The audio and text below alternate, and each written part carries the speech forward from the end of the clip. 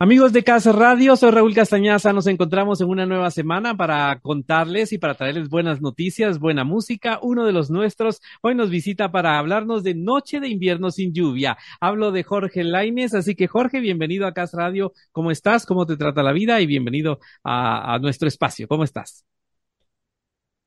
Hola, estoy bien y la vida me trata de maravilla. Qué bueno. Eh, Jorge, cuéntanos un poquito de ti, cuéntanos un poquito de tu música, de tu historia, por qué la música, porque bueno, pudiste haber sido ingeniero, doctor, bueno, siempre me pregunto yo eso a mí mismo, pero siempre se lo pregunto a los artistas para que me cuenten un poquito de dónde nace esa pasión, esa, e, e, esa sonoridad y bueno, todo lo que los artistas tienen por excelencia. Así que cuéntame de ti, por favor. Bueno, pues te, te, cuento que la música nació de, de muchos años, cuando era muy, joven, y en realidad antes de, antes de, de, lanzar la música que lo está haciendo hasta, hasta, hasta el año pasado y este año, pues antes hice una carrera, una carrera profesional, y yo soy, yo soy médico, internista, soy infectólogo, y después, eh, aunque durante muchos años escribí, eh, eh, había escrito canciones, fue hasta ahora que, que me decidí a, a, a publicarlas y a darlas a conocer. Y, y, de hecho esta canción, esta canción que se llama Noche de invierno sin lluvia, eh, la escribí hace muchos años, tal vez hace algunos, no sé, más de 20 años. Así que es una historia, una historia antigua. Pero cuéntame, Jorge, ¿escribías estas canciones como en son de poema, pensando, eh, por ejemplo, eh, no sé, a veces escribimos por aflorar los sentimientos, pero realmente era tu intención en algún momento hacer música o de repente en, el camino tú dijiste, bueno, creo que tengo la habilidad, eh, ya tengo contenido, ya pues ya veo que escribo, ahora tengo que transformar de esto a esto, pero eh, ya, ya era tu intención desde pequeño, por ejemplo, ser cantante. Creo que era una de las dos opciones que tenía en mi vida. Eh, me decidí por la carrera, pero, pero desde que yo tengo memoria, qué sé yo, ocho, nueve años, ya me gustaba cantar y, y ya hice un, un, un, pedazo de canción cuando tenía como unos diez años y luego cuando tenía quince aprendí a tocar guitarra y empecé a escribir canciones de una vez. De, hay una canción en el álbum que vamos a lanzar que se llama eh, Tu juguete que fue una de las primeras canciones que escribí y para mí era una canción inocente y, tonta, pero cuando lo vio el productor dijo, esta canción es muy buena y no lo creía porque era una de las canciones con mis primeros acordes de, de, guitarra que había aprendido. A ver, vamos a ir desglosando un poquito esa historia y bueno, ahora me dices, me hablas de la guitarra, ¿cuándo aprendes a tocar guitarra? Cuéntame esa parte. Aprendí eh, en la Escuela Normal Central para Varones, donde estudié mis básicos y magisterio en la estudiantina de ese, ese lugar. Ahí con compañeros de, de, de, la vida eh, eh, aprendimos a tocar guitarra. Qué bueno, Jorge. Bueno, ya me adelantabas un poquito de este tema Noche de invierno eh, sin lluvia, pues que ya tiene una historia respecto a la letra y es el, pues como el primer tema. Estaba pues incluso investigando un poquito. Sé que eh, pues en esta etapa, ¿verdad? En este disco me imagino que es donde vienen estas 14 canciones. Cuéntame el proceso ya de decidirte hacer y grabar toda esta música y bueno, también buscar esas alianzas porque es importante como decir, bueno, eh, voy a hacer un disco, lo quiero hacer bien, tengo que buscar personas adecuadas que hagan realmente, que logren captar lo que yo quiero eh, contar, una parte, y segundo, pues que también sea una producción de calidad que pueda competir, ¿verdad? Con, con la calidad de lo que hoy se exige respecto a la música. Así que cuéntame un poquito de, de esa parte, de ese proceso de buscar esas alianzas para hacer tu música.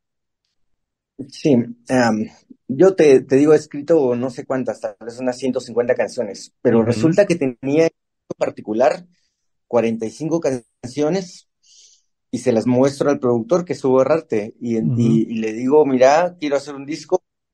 Él mira de esas y escoge 14 canciones.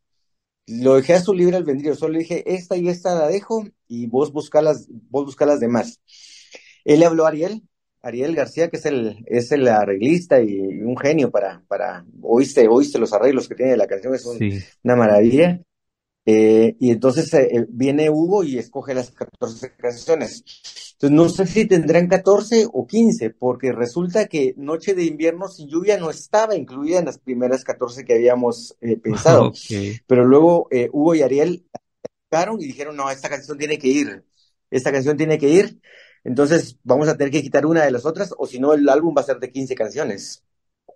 Ok, eso me habla, Jorge, que estamos como en el proceso, digamos, para, para armar lo que va a ser esta producción discográfica tuya, que bueno, ya tiene este primer paso que se llama Noche de Invierno sin lluvia. Me encanta ya, la verdad escuché el tema eh, por unas cuatro veces para, para adecuarme para entenderlo, para, para disfrutarlo y me encanta esa parte cuando llegas al coro y bueno, ya entra noche de invierno, es una noche de invierno sin lluvia, es una noche que olvidó su frío, bueno, está genial, realmente creo que eh, es parte de, de nuestra cultura, es parte de tú, de hecho creo que la descripción de la canción tiene que ver mucho con una noche eh, como las que vivimos por acá en Guatemala, ¿cierto?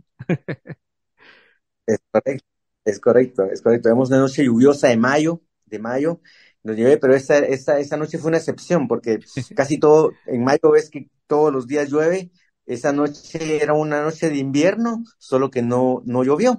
Entonces nos dio chance con, con la chica del, del, del, de la canción a salir y platicar un rato en un corredor y a fumar un cigarrillo. Excelente. También me gusta mucho la parte que obviamente la gente lo va, lo va a intuir en los primeros acordes y es la participación del saxofón en esta canción que creo que tiene, eh, es protagonista, ¿verdad? En este tema. No hemos escuchado las otras 14, vamos a pensar que son 15, pero no hemos escuchado las otras 14, pero bueno, en esta creo que el saxofón forma parte de y también pues eh, eh, hay, hay mucha gente involucrada en, en también alimentar tu música de otros instrumentos tan específicos como este que está en Noche de Invierno sin lluvia. Cuéntame un poquito esa parte. Sí, sí, el, el, genio es Ariel, porque él, él, él, eh, sabe poner, poner los, los, ah, eh, el piano, la guitarra, y, y, particularmente el saxofonista que es Ed Calle, que es una, una persona muy, muy reconocida a nivel mundial, es el que, el que pues nos, nos, ah, nos hizo el honor de, de poner esos arreglos maravillosos.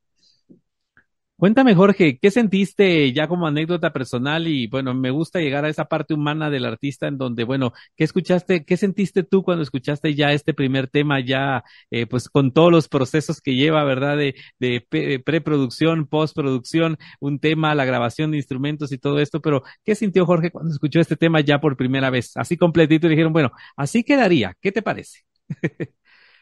Fantástico. Fantástico. Yo eh, le dije a Hugo que era mejor, era mejor de lo que yo había pensado, mucho mejor.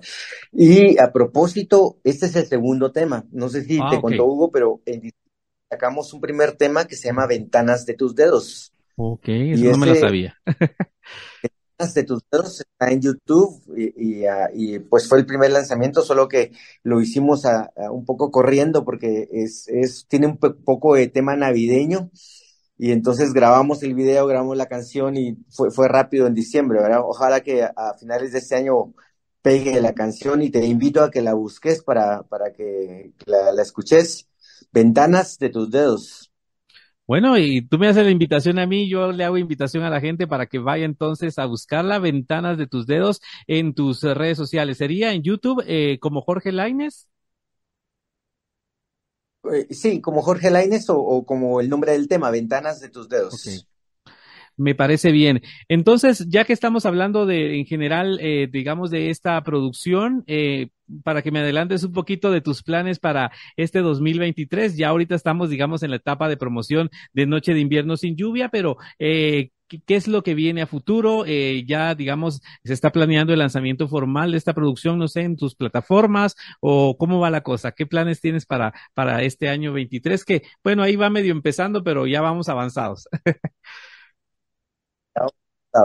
Mira, el, el, el plan es, eh, tal vez en un par de semanas, grabar el video de, de Noche de Invierno sin lluvia eh, en la siguiente semana hacer un, un, tercer lanzamiento que sería una canción que se llama Gracias Madre, que ya se viene el Día de las Madres y, y, ese es un tema muy, muy conmovedor. A la gente le, le, le, conmueve mucho el tema, ya, ya te, te, haremos partícipe de él cuando sea su momento.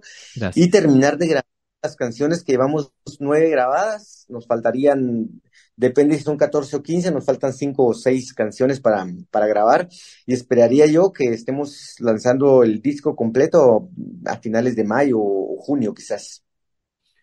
Muy bien, familia de Cas Radio, nos está acompañando Jorge Laines, que nos está hablando un poquito de su música, de lo que está trabajando con nosotros. Ya nos habló, pues, de dos temas. Hoy estamos hablando de Noche de Invierno sin Lluvia, para invitarles a ustedes de que sean parte de esta producción que está fabulosa. Eh, vayan y escuchen el tema, de verdad vale la pena. Y bueno, vienen muchas cosas, así que Jorge, estaremos platicando a lo largo del año de, cada pasito que vayas dando. Ya sabes, Cas Radio es tu casa y de verdad nos encantaría ser parte poco a poco de tu proyecto y de todo lo que estás compartiendo musicalmente para todos nosotros, ¿verdad? Yo ya vi esas salas de hospital con tu música puesta por ahí, pero bueno, esa es harina de otro costal. Quiero que me cuentes en, en las redes sociales cómo te encontramos, Jorge, en qué redes sociales estás, en qué plataformas para poder escuchar tu música y también para seguirte a ti. Cuéntanos esa parte, por favor.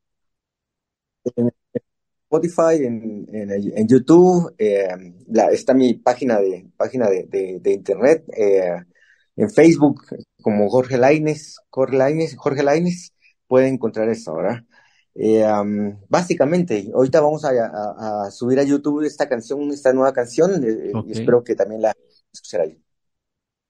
Bueno, pues qué gusto saludarte, Jorge. Eh, gracias por hacernos partícipe de, de, esta producción, de este sueño en tu, en tu carrera personal, ¿verdad? Por, por, la, por la música y por también invertir, creo, en buscar los talentos necesarios para hacer buena música. Eso te lo agradecemos también, incluso nosotros, los comunicadores. Así que, familia de Cas Radio, hoy nos acompañó Jorge Laines. Lo que quiere, quieras decir a la gente, Jorge, este es tu espacio. Gracias. También quisiera, quisiera, y porque Hugo me lo pidió, mostrarles el, un libro. Ajá. Que se llama eh, Desnudo el cuerpo, desnudo el alma, Siluetas del amor, que publiqué también el año pasado. Y es que, pues, si le vamos a dar al arte, démosle duro.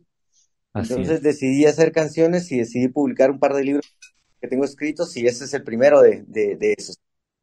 Y les bueno. agradezco a todos, eh, muchas gracias, ojalá apoyen al talento nacional. Claro que sí, no hay problema y bueno, por ahí te vamos a hacer llegar a través de Hugo, pues de repente la invitación para que platiquemos directamente de tu libro, ¿te parece? Perfecto. Excelente. Bueno. Muy bien. Amigos de Casa Radio, muchas gracias por acompañarme. Yo soy Raúl Castañaza y por supuesto les espero un nuevo espacio para conocer más del talento de nosotros, más del talento internacional también, porque llega a Casa Radio. Así que les espero, no se lo pierdan. Somos Casa Radio, un pretexto más para estar online. Hasta la próxima. Jorge, un abrazo para ti. Cuídate. Adiós.